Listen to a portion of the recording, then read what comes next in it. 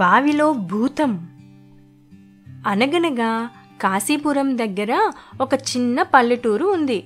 ఊరు చిన్నదే గాని ఆ ఊరి వారికి పెద్ద సమస్య ఒకటి ఉంది అదేంటంటే ఆ ఊరి వారికి తాగడానికి మంచినీరు దొరక్క ఎంతో ఇబ్బంది పడుతున్నారు. ఎన్ని బావులు తవ్వించినా ఒక్క చుక్క నీరు కూడా పడేది కాదు. ఆ ఊరి చివర్లో మాత్రం పురాతనమైన బావి ఒకటి ఉంది. దానిలో ఎప్పుడూ నీరు పుష్కలంగా ఉంటాయి. మరి వాళ్ళు అక్కడికే వెళ్ళి నీళ్ళు చేదుకోవచ్చు కదా? అనే అనుమానం నాకు వచ్చింది. కానీ అసలు సమస్య అక్కడే ఉంది. ఆ బావిలో ఒక భూతం ఉంది. ఎవరైనా అక్కడికి నీళ్ళు చేదుకోవడానికి వస్తే అది బావిలో నుండి బయటికి వచ్చి వారిని భయపెట్టి తరిమేస్తుంది. ఇంకా ఆ ఊరి వారికి భూతాన్ని ఎదుర్కొనే ధైర్యం లేక ఆ వైపు వెళ్ళడమే మానేశారు. రోజురోజుకి మంచినీటి సమస్యతో పాటు ఆ భూతం కూడా ఒక సమస్యలా మారింది.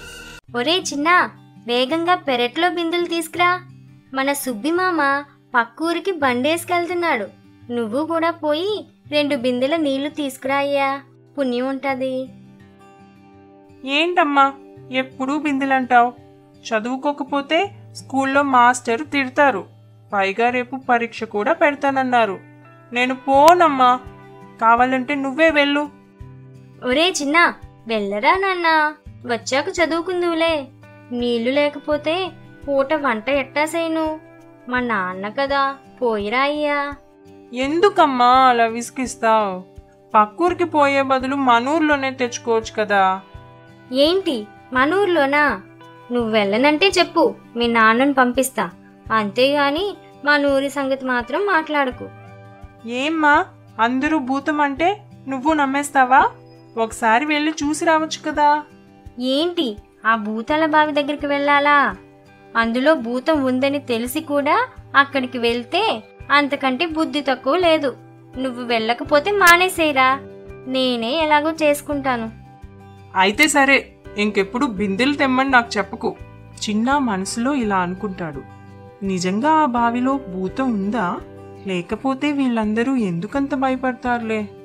అయినా సరే ఒకసారి ఆ బావి దగ్గరకు వెళ్ళి చూసొస్తే పోలే. కానీ అమ్మకి తెలియకుండా వెళ్ళాలి.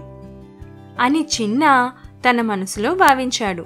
ఎలా అయినా సరే ఆ బావి దగ్గరకు వెళ్ళి రావాలని అనుకున్నాడు. ఒకరోజు ఇంట్లో ఎవరికీ చెప్పకుండా బావి దగ్గరకు బయలుదేరాడు. బావి దగ్గరకు వెళ్ళి లోపలికి తొంగి చూశాడు. నీళ్ళు తప్ప తనకేమీ కనబడలేదు. ఏయ్ భూతం! ఉన్నావా లేదా? ఇంతలో బావిలో నుండి ఒక తెల్లటి ఆకారం ఎగురుతూ పైకి వచ్చింది. చిన్న ఒక్కసారిగా ఉలిక్కిపడ్డాడు. ఎవరు నువ్వు? నీకెంత ధైర్యం ఉంటే నా దగ్గరకు వస్తావు. చూస్తే పిల్లాడిలా ఉన్నావు. నా సంగతి నీకు తెలీదు. ఇక్కడి నుండి పారిపో. భూతం గారు నన్నేం చెయ్యొద్దు? నాదొక చిన్న ప్రశ్న. మీరు సమాధానం ఇస్తే నేను ఇక్కడి నుండి వెళ్ళిపోతాను. నీకు నిజంగానే ధైర్యం చాలా ఎక్కువే. నన్ను చూడగానే మిగిలిన వాళ్ళందరూ పారిపోయారు. కానీ నువ్వు నిలబడి నాతో మాట్లాడుతున్నావు. నేనంటే నీకు భయం లేదా? మీరంటే నాకు భయం లేదు. ఎందుకంటే మీరు చాలా మంచి భూతం మిమ్మల్ని చూసి అందరూ భయపడి పారిపోతున్నారు. కానీ మీరు ఎప్పుడూ ఎవరికి ఏ హాని చేయలేదు కదా? నిజమే నేనెప్పుడూ ఎవరికీ హాని చేయలేదు. ఈ బావి నా ఇల్లు. మరి నా ఇంటి దగ్గరకు వస్తే నేను ఊరుకుంటానా? పైగా నా బావిలో నీరు కూడా కావాలంట. మరి నాకు కోపం రాదా? అందుకే అలా అందరినీ భయపెడుతున్నాను. అవును నిజమే. ఈ బావి మీదైతే ఈ నీరు కూడా మీదే. కానీ ఈ బావి ఉన్న చోటు ఈ గ్రామానికి చెందుతుంది. అలా అయితే ఈ బావి కూడా ఈ గ్రామం వారిదే కదా. మీరే ఆలోచించండి. చిన్నా చెప్పిన మాటలకి భూతం ఒక్క క్షణం ఆలోచించింది.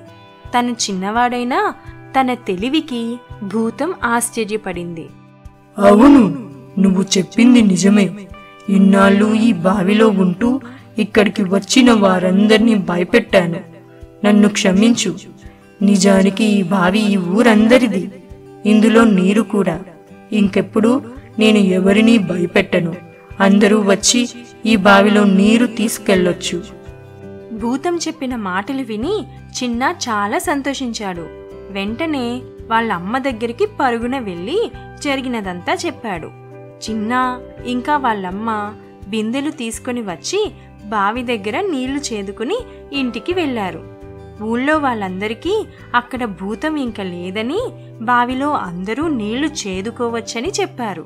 అందరూ చాలా సంతోషించారు. పిల్లలు ఈ కథ మీకు నచ్చిందా? చిన్న ఎంత ధైర్యవంతుడో కదా? అందరూ భయపడుతున్నారని తను మాత్రం భయపడకుండా ధైర్యంగా వెళ్ళి భూతాన్ని ఎదుర్కొన్నాడు. తన ఇంటితో పాటు ఊరి వారి సమస్యను కూడా పరిష్కరించాడు.